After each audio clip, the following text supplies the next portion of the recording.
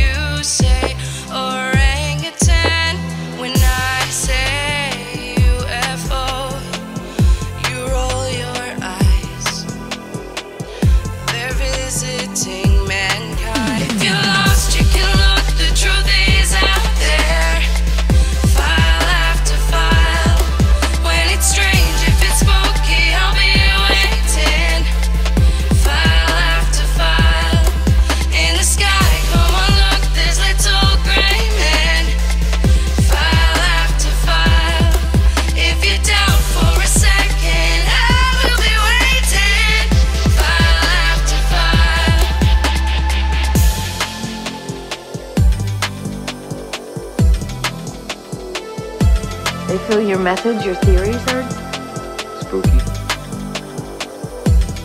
Do you think I'm spooky?